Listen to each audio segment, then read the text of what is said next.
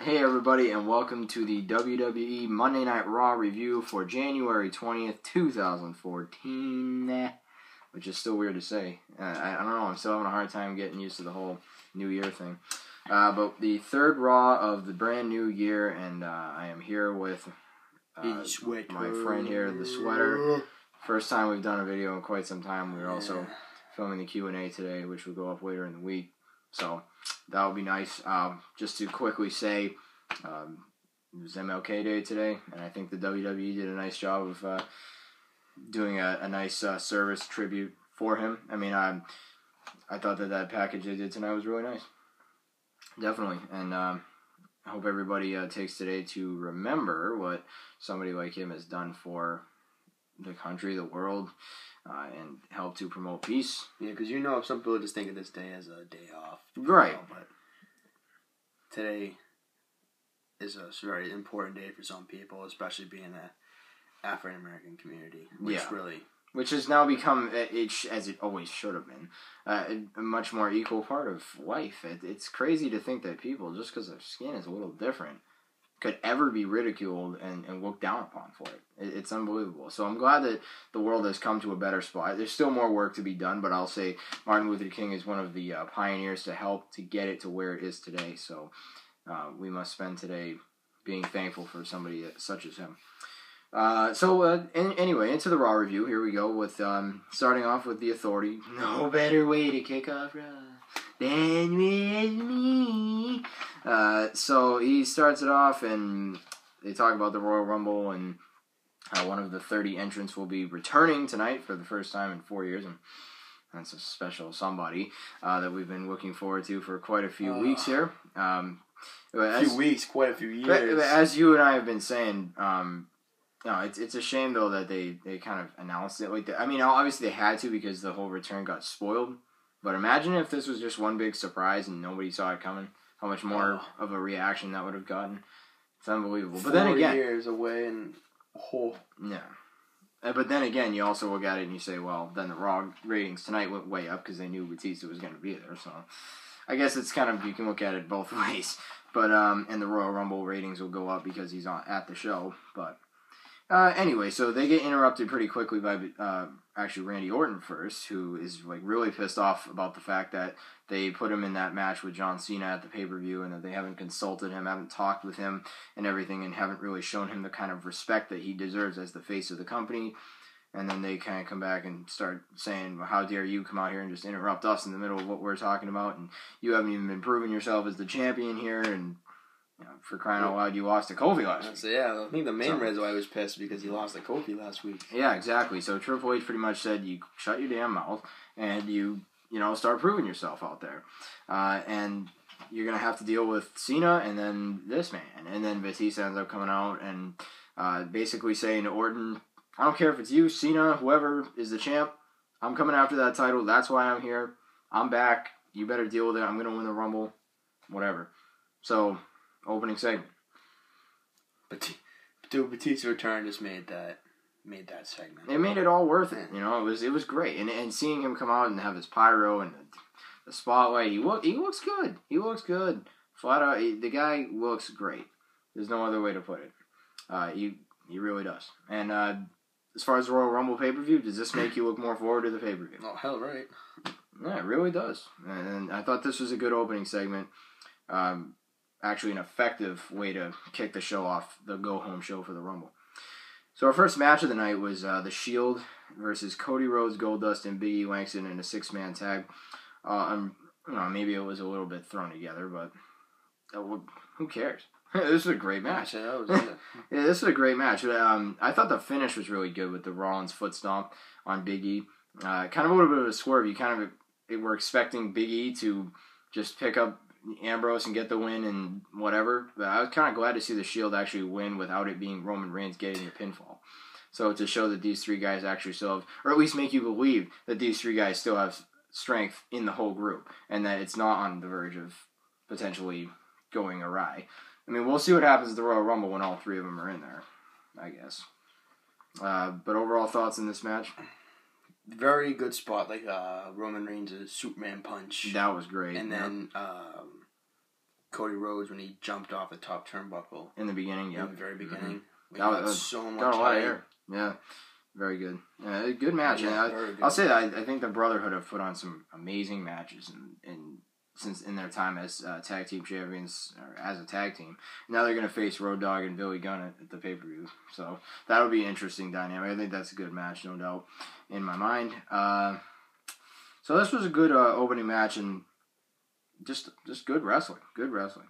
So we move on to Daniel Bryan cutting a promo talking about how um, he needed to beat Bray Wyatt. Basically, he was explaining himself or you know his actions as to why he joined the Wyatt family and then turned on him so quickly. And I mean, it's pretty obvious to those of us that are more intelligent wrestling fans that I don't think that was a WWE's original plan was to have him be with them for only two weeks.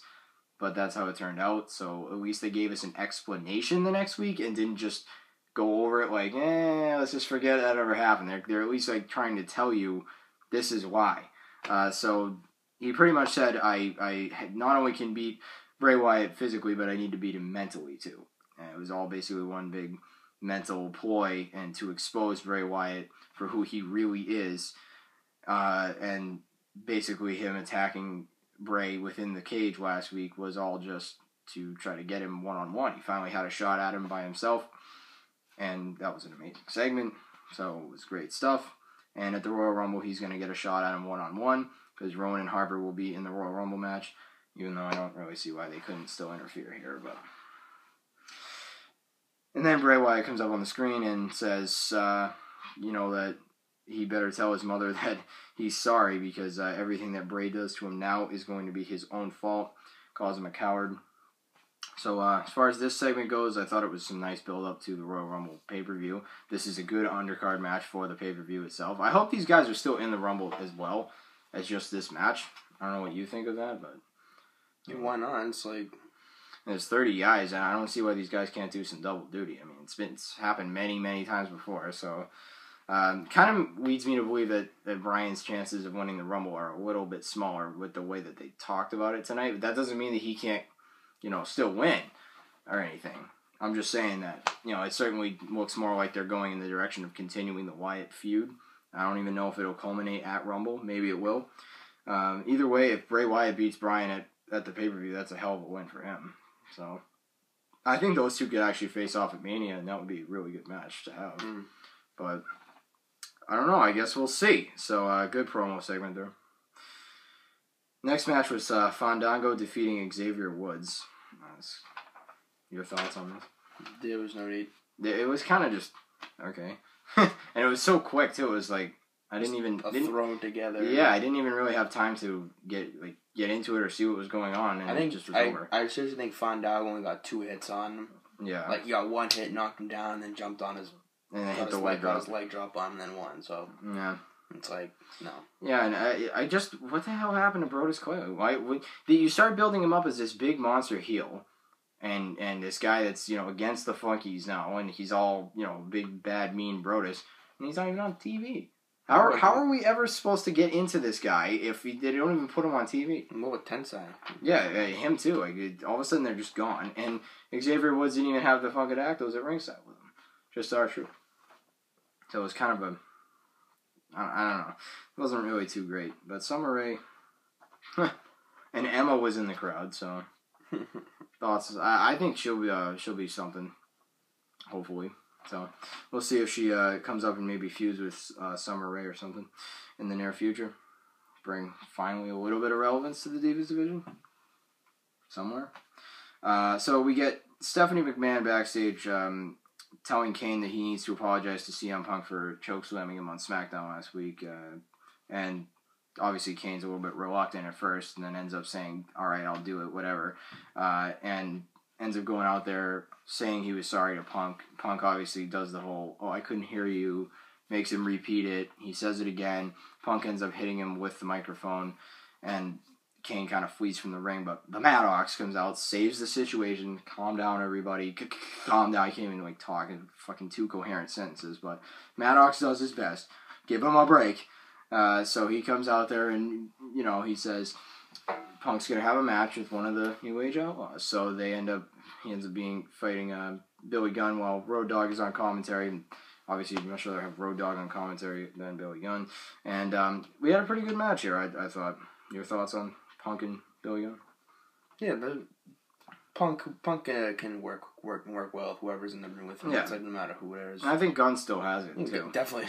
yeah. But it's especially for Gunn's age and Yeah, I mean- he's, he's still very good. And, Yeah. and he's in shape and they look good together. I, I thought this was a solid match. I mean, I, I was saying during this, I remember um, I never really thought I would see Billy Gunn versus CM Punk on TV. That's pretty cool. Uh, so to see these new, not only the New Age Outlaws back for a bit, but also wrestling matches every week is pretty cool. Uh, I like it, and, the fact they're getting a tag title shot more than okay with me. I'm I'm more than okay with that. Uh, so good stuff for me. I, I was a fan. Um, good matchup overall in ring wise. I thought, and then um, see, Kane ends up announcing that CM Punk is going to enter in at number one during the Royal Rumble match this year. So, I guess we'll see Punk uh, delivering a clinic for us at the Royal Rumble. Do you think he's going to last a long time? Or well, this this is going to give him a chance to show his potential and yeah, show what he's got to, to prove. And I I do think that I, think he'll last quite a while. he'll probably last a half hour or more. I mean, I, I I don't see why not. I mean, he might get knocked out by. You could see Kane enter himself in there and knock him out. You could see the New Age Outlaws in there somehow and knock him out too. And somebody will knock him out. Yeah, whoever. Um, I don't know if they're going to build up to Triple H versus Punk for Mania, but that was my initial guess. I don't know. He could still win the Rumble. I mean, it's happened before. Benoit, Shawn Michaels. Number one guys have, have won it before. And I Mysterio's number two. yeah, I mean, so as far as I'm concerned, he could he could be a guy that wins it from from that angle, but I, I think they might build up to something different with him than the main event at uh, WrestleMania. That would certainly be something good. So that's uh yeah, that's fine with me. Uh, Alberto Del Rio defeats Rey Mysterio. Uh, I like this match. It was uh, pretty enjoyable. Uh, these last three matches they've had with each other were all pretty solid. And then uh, seeing Del Rio go over with the armbreaker again, good wins for Del Rio over Mysterio. At this point, I think that's something Mysterio is, is good to be doing at this point in his career. They're playing the injury. That's the good thing. Yeah, and, and, and you know he, he had his arm hurt. That you know in the match, he he got enziguri'd there a couple of times. He worked on it. They it told the right kind of story, and then he wins with it. As soon as he get walks in the armbreaker, Rey taps out. Makes it, the armbreaker look really strong, and makes Del Rio look good for once. It's not like they really ever build him up that well. So at least lately, he certainly has been not really on the best end of the stick, so to speak. But I think him getting a couple wins over Mysterio is good. And then, of course, none other than Batista comes out and takes care of business with him. Spinebuster and a Batista bomb. Pretty cool. Yeah, uh, I definitely thought that was a good segment, um, especially considering the trash talking going back and forth between those two. Overall, um, that was a good match and stuff. I definitely liked it. Uh, next, we have Big Show and Lesnar's confrontation face to face. First of all, Big Show's impression of Paul Heyman was pretty priceless. That was actually really funny. Uh, and the other thing I liked was the brawl. Uh, I mean, man, that when, Could have ended pretty ugly. yeah, it could, yeah, when especially when uh, Big Show flipped him over the top, could have landed right on his head. Uh, you, what did you think of that whole thing though? The whole brawl. That's that's it's a it's a very good build up to um, the Rumble, Yeah, and like like I said before, it's like like before when Brock's been coming back, he's been facing people his size, hmm and but now he's facing the Big Show, who's bigger than him, who's taller than him, who's a lot bigger. hmm Maybe we'll see the tables turn a little bit because yeah, he'll actually have to be the small guy. hmm you have to work extra hard to put the Yeah. big man down. Would you? I, I I know I would be, but would you be surprised if Big Show actually won at Rumble? I wouldn't be that surprised. Yeah. the- I, I think it wouldn't really make a ton of sense considering Lesnar's going for the belt at Chamber. But yeah, it's like you kind of go into that thing. It's like Yeah. Brock Lesnar just just came back again. He's not Right. lose to Big Show. But I, I give them credit though because they, they at least are building it up as if Big Show holds a really good shot against him. And and not only that, but they're showing that Lesnar actually went to try to take him down and couldn't do it. So it's it's going to show that it's more of a challenge for Lesnar. So like you said, he's actually going to have to work as the underdog here. Which I mean, he's beaten Big Show before. The ring has collapsed during one of their matches before. I think their match at Rumble will be great. I actually look forward to that almost more than any other match. obviously the Rumble match is first and foremost as always, but honestly, one of the matches I'm looking most forward to is this one because it's just going to be a brawl. Uh, I hope it gets at least 15 minutes though. So, so again, you think that was some good build up too? Yes, definitely. I thought so. Yeah, I thought it was good. Uh, so we get um, tribute package for Mae Young, uh, which was nice. It's a shame that she passed away this past week. Uh, I haven't talked about it yet, but and she was a great pioneer for women's wrestling. There's no other way to put it besides the fact that she was, uh, again, somebody who has left her mark on the business, especially for women. And that was, you know, it was a tough time when she grew up as far as, or when she came up into the business for women. It wasn't like it was um, even the most common thing around to see women wrestlers. And, and uh, she's made it so that women's wrestling has become a, a I mean, it isn't really at, at that great of a state today, but I would say over the years it, it has gotten to be at such a much better uh, plateau, a much better place so that it's almost on the same level or near the same level as men's wrestling, uh, which is great. And she had a great career, and, and her second so second career, so to speak, with WWE when she was doing all those funny segments was awesome. Those segments are great and really funny and very memorable. Uh, even seeing her at the thousandth Raw was cool, you know. So especially to make it to ninety years old. To like, make it, yeah, that's that's a great it's life. Like, it's being taking all the the body beating that, yeah. that she's taken I mean, look at years old, especially again, yeah. power bombed off from a the Dudleys to a yep. table. It's like that, that's amazing. And that's and she was in her seventies when she takes that bump. It's, but to to make it to ninety years old, it's like that's, that's good for that, her. That's one hell of a life. Yeah, she's somebody that goes out with all the respect, all the glory. She never, you know what I mean. It was never any real big like crazy controversies. She was one of those people that earns and deserves the the ultimate respect. And luckily, she got to make it into the Hall of Fame you know, before her death. So that that's a good thing too. Um, obviously, uh, unfortunately, a guy like a Randy Savage won't get that. But movie, that's that's uh, besides the point. Good stuff to see though the uh, tribute package for her as well.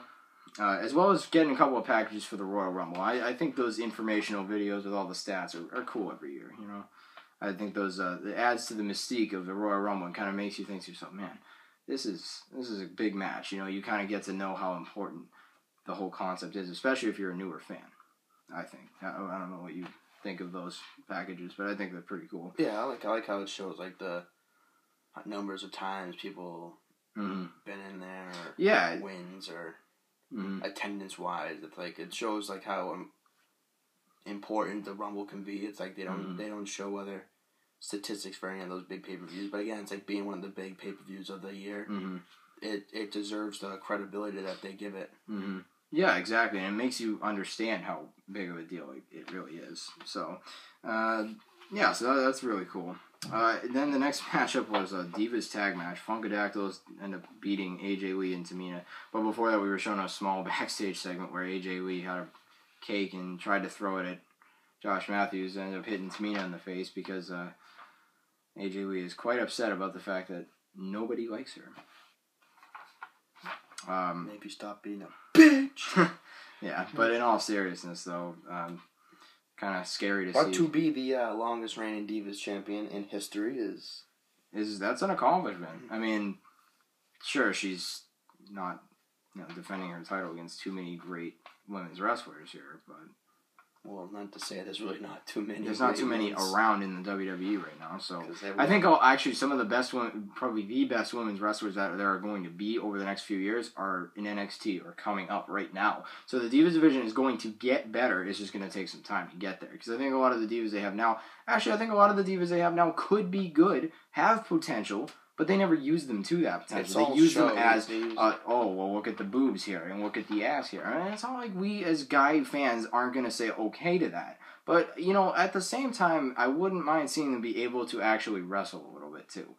That's why I like Natalya. I, even like Kate, I like Kaitlyn a lot, too, because she, you know, she's gone from the company, but, uh, you know, she was actually solid. She got better and better. She started out really bad, but again, as time went on, she got better and better. And her match with AJ, actually, when she lost the title to her this past year, was a really good uh, match that I actually underrated too much. Uh, it was actually a much better match than I had uh, given it credit for.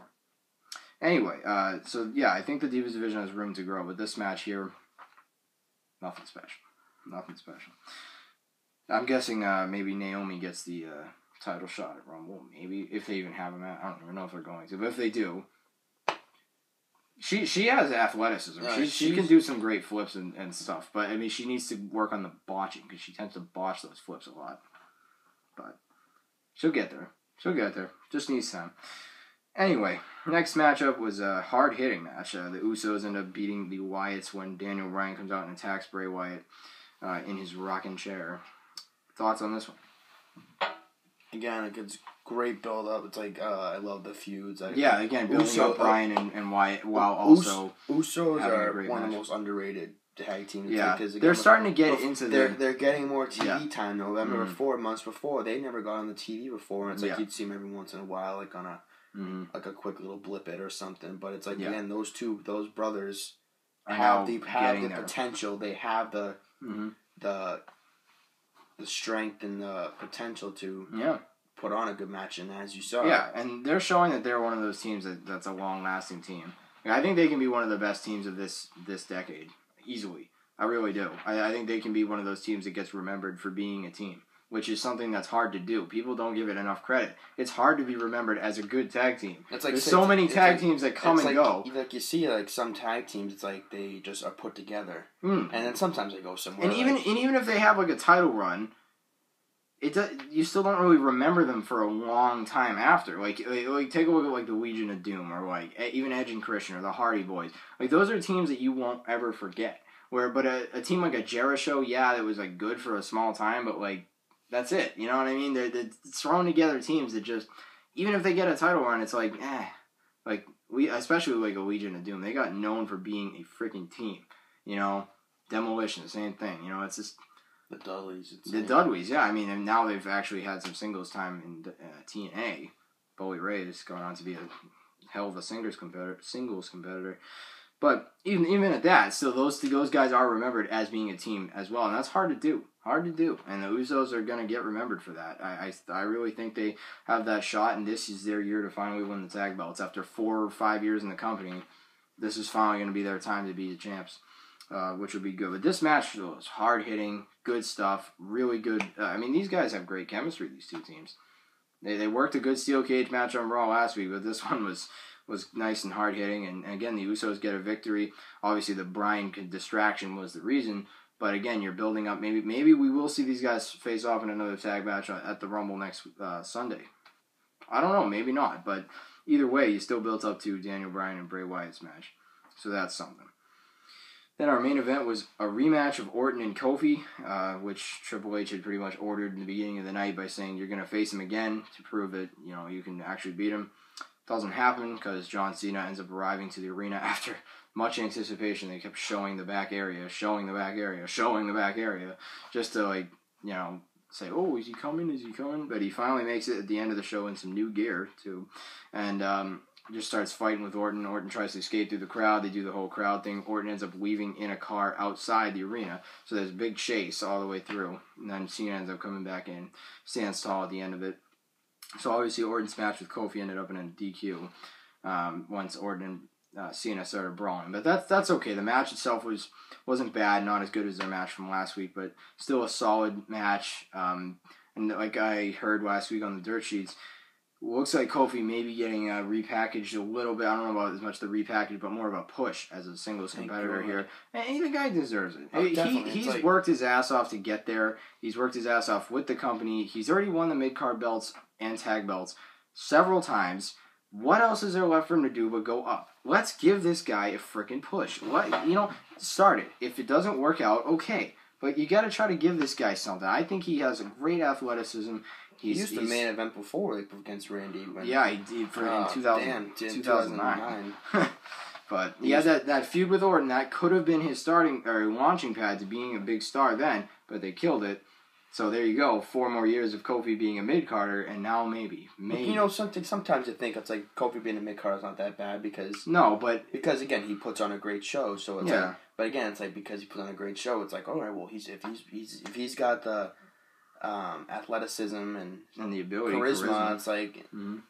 put him up, put him against higher people, put Yeah. him against a Randy Orton, Yeah, or I, I think um, Cena. Or, I think the problem with him has always been the lack of character. He's never really had It's not really his fault. He can't do anything about that really. I mean, the WWE pretty much controls who you are as far as on, what you are on screen. So he pretty much had no good. He didn't have the kind of character that could be a main eventer, but he had the ability, the charisma, everything else. Now, if you just tweak the character and make it more main event uh, like able, there you go. You got this guy. Give this guy a shot. I, I so, really do. He's so over with the crowd. Uh, like, the crowd loves him. I mean, he's not. He might not be, you know, that you know like Bryan level or, or even you know Cena level or some a lot of these other guys, but he can get there. I, I think anybody can get there. Hell, Daniel Bryan didn't used to get much of a reaction at all. Now he blows the roof off the place every fucking week just because of yes, just because of yes. That's it.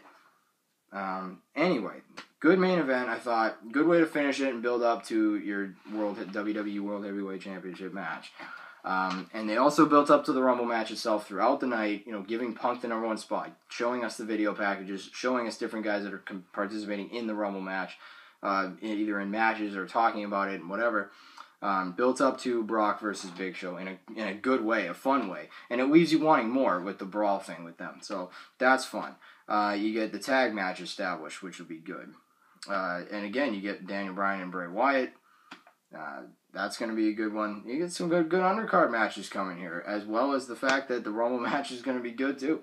So, and the WWE World Heavyweight Title match. I think I don't know what you think about the ordering of the card, but I definitely think the Rumble match should be last. Though it's usually yeah. it usually like, is, but last year it wasn't. So because it was Rock versus Punk. Yeah. But I, I definitely think that should be the last match is the Rumble itself because yeah, that's the uh, pay per view. Yeah. I mean, what the fuck? But either way, I thought this was a good show. And, and again, but seeing, I will say that that match with the Shield and Cody Goldust Big E, that's a good match because you're getting Ambrose and Big E in the same ring, and they're talking about, and I think they will unify those belts as well, the US and IC, which is it's smart. It's smart at this point. You don't need two mid card belts. You don't need two world titles. You don't need two tag titles. You don't need two Divas stuff. They've they've gotten the Divas to one, the tag belts to one. Now they need to get the now they got the world title to one, so they just need the mid cards to one. Yeah, and like you, four titles. Like, you see before, Big E and. Uh, Ambrose, they really don't put their titles on the line as much. No, especially Ambrose. I, Ambrose, say, yeah, Ambrose never. Right. That title's never on the line. No, I, I can't even remember the last time on TV or at a pay per view that he defended it. And it might not have even been that long ago, but it's still at least a couple of months. Hell, that's not okay. You, what what kind of achievement is it to be the U.S. champion anymore if you don't even hold the belt? Like you don't even uh, defend the belt. I mean, it, it's not an achievement to be the the U.S. champion for eight, seven, eight, nine months and not even defended. Who cares? You haven't done anything to prove why you're still U.S. champion. You just have the belt. It's not his fault. WWE doesn't give him any matches to defend it against. So might as well have it be him and, and Big E. Big E's already defended his title, I think, more than Ambrose has in the last six months, in the last, you know, two months that he's had the title. And he's been champion for a lot less time. Doesn't make any sense. But again, I think WWE is extremely high on Big E Langston. He's going to be uh, he'll be a world champion. I, I can see it. Now I know that everybody goes uh, with the whole, you know, not too many. I know this is MLK Day, and and some people have said this as well. Is there hasn't been a ton of black champions in the WWE, of world champions. I think Big E Langston could be that guy. I think there should be a ton more. I, I think it shouldn't matter. I, I don't. I don't think it really does matter that much, but I, it it's true. There hasn't been a ton. You know, guys that, that could have, would have, should have been haven't been. And it's not really fair. It's not fair at all. You can't be discriminated against for who you are. If you're you have the chance, it's like a Kofi Kingston. I always think of him like, man, don't hold him back from getting a main event shot. Who cares? Doesn't matter what color his skin is. The guy, if the guy has the shot to be a main eventer, let him be a main eventer. Don't hold him back just because you're you're biased. That's that's just disgusting to me. If that if that's true, I'm not saying it is, but man, I'll sure as hell hope not, but they are high on Big E Langston. Good. I like Big E Langston. He's a good. He's got the look. He's, he's actually puts on entertaining matches too. He's not like the doesn't have a ten thousand moves. He doesn't have to. He's proof of that. He's kind of old school. He does the old school belly to belly. You know, he just he's a power guy, and it's it's cool. He's a good baby face. He's over with the crowd. Good IC champ. Him and Ambrose, I think, will put on a good match for the unifying of the titles. Good stuff in the mid card. Tag division is beautiful. The Usos and Wyatt match was great. Their match with the Real Americans last week was really good. The New Age Outlaws are back and fighting for the tag belts again. Holy hell. And, I mean, the, the world title match, yeah, okay, Cena and Orton, we've seen it a, a lot. But hell, Lesnar's coming back into the title picture. Lesnar and Big Show is going to be great. Batista's back. This was a really good Raw. I enjoyed this one a lot, and I think I actually underrated last week's a little bit. I, I don't think it was like the best Raw ever. I don't think this was the best Raw ever either, but I certainly think this was a really good one, and I think it's worth at least a B plus here tonight, maybe even the A minus. And you don't see me giving A's away very often, but I'm I'm thinking B plus A minus range. What do you think? You know, overall. I know, I know. You know, I would, I would say, yeah, A. I would, I would, fucking hell. I would probably go to around A. It's like because yeah. again, it's like this whole this this show wasn't put down. This wasn't put on as just like a bunch of filler matches, just like no. random thrown together matches. Like these matches, every every match today except for the Fandango Xavier Woods, yeah, was made for a purpose. Mm-hmm. It was put it was put together for a purpose, and mostly this whole entire show was build up matches. It was all built and they were up building for, up the, the were, Rumble. It was all built up for the Royal Rumble. Mm-hmm. Bryan, Show, Cena, and Orton. It's like these are all Yep. these were all put together with fine detail to show that Yeah. this that this is This what's pay going per to view matters.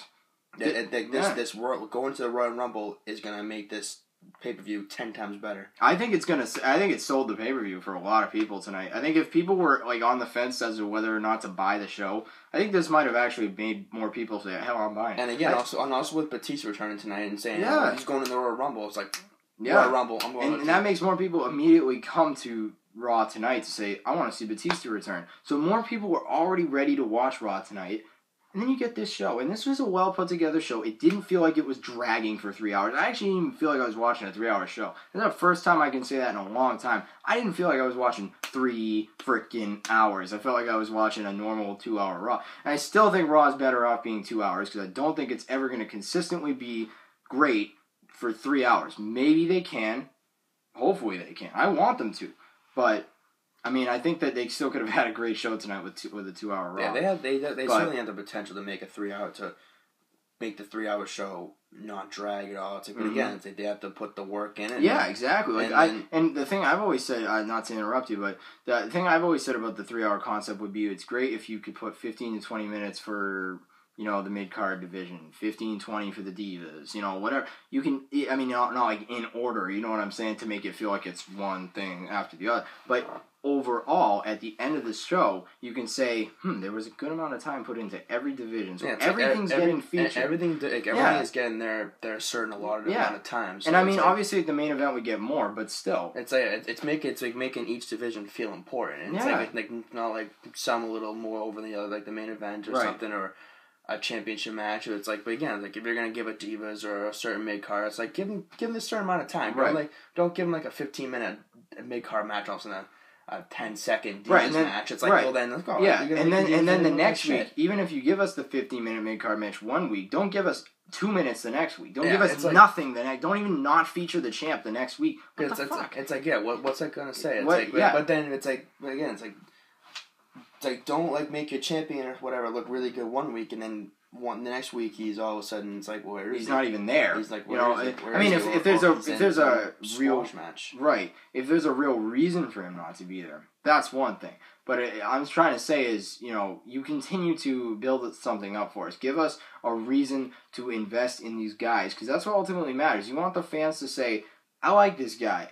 I think he's got something." You know what I mean? You want to be able to say this guy's good. You want the main, the regular old fans that don't even watch Raw necessarily every week, don't even really pay close attention to what's going on. That just watch it for the hell of watching it. You want them to say, "Man, I like this guy. I like this guy. This is fun. This is great. I'm gonna watch next week." You want those casual fans to actually start becoming more, you know, big fans. Especially and especially coming with this new W with the new route network, it's like Yeah. it's like you got to keep your fans, or you got to keep your Yeah. fans wanting more. because I mean, because it's like if not, you're gonna lose. You're gonna lose. They will lose money. It's like you're Yeah. gonna lose money. People, people are gonna start investing money on this network, paying Mhm. for pay per views and all Right. the shows and everything. It's like people, sure, people are just gonna spend, they're gonna be buying the pay per view of this thing, especially for watching their old, very old matches and everything. And yeah, but it's like again, like if you're gonna put if you're putting pay per views for on for free, don't make them shit. yeah, right. I mean, and again, you know, it is a that- that's it is a great- drop your ratings. It's gonna Yeah. drop your fans. It's like Right. you're gonna have people pulling because it, despite the fact that it is a great deal overall, it doesn't take away from the fact that at the end of the day, you will lose money if you're not selling the right product to us. You know, you still get to keep the current product enjoyable while still, you know, obviously giving us all the other features that they're giving us. It's a steal. Overall, that, that deal is unbelievably great. So if they keep the current product up to snuff here and are going to give us everything if else, You're making, if you're giving a it's going to be, they're going to make dough. they're going to be in the, they're just going to keep making more and more money. And that's, that's a It's great, Like, it's like great yeah, business It's like, it's like you think it's like ten. It's like sixty dollars is each pay per view. hmm But again, it's like that's that's bringing around four or five hundred dollars each yeah, each year. You you would be paying regularly with Right. pay per view. But if, again, if you're gonna make it ten dollars a month, it's like you're gonna draw a lot more people. right. And so, so that, that to number isn't even, like- that's going to be It's like non-existent. because you're it's like it's like they're gonna say well it's only sixty dollars it's only Mhm. ten dollars now opposed to sixty but you're gonna see more Yeah. you're gonna see those numbers start to climb And the other thing that's very interesting is that their TV deals this year are expiring. So obviously these networks are going to be desperate to keep some kind of that that program because Raw is a very high rated show. SmackDown's a high rated show too. It's not like at to the degree of Raw, of course, but they're still well rated shows on Sci-Fi on USA. They're not going to say to themselves, "Oh, we don't care about that show." They can go have their network. They're going to say, "No, we need this show to keep our network going." So they're going to pay out the nose to to WWE, they're going to make even more money off of those too. So the WWE is set. But anyway, that that's uh that's enough about that. Overall, this was a really good Raw. Enjoyed it a lot. Uh, so be sure to hit the like button. Uh, comment your thoughts down below on what you thought of this week's Raw. Subscribe for more to come. Follow me on Twitter at EM Ultra Official, him at Apocalypse NEBW. Um, links will be in the description for that. Also, add me to your circles and all that. Circles on Google Plus, and that's pretty much it. So he is, the Swetter and I'm yeah, the guy that You know. makes the videos. So uh, until uh, next time, we uh, I'm Ultra. I'm Ultra. he's the But, uh, ultra Until next time, peace out.